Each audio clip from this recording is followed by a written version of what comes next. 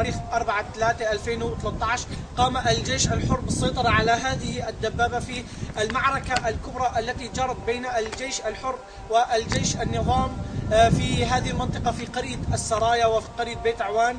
طبعا آه، معارك تحرير اللاذقية آه، بدأت قريبة جدا بإذن الله ويعني جبل التركمان أصبح آمنا وأصبح منطقة أصبحت منطقة عازلة هنا.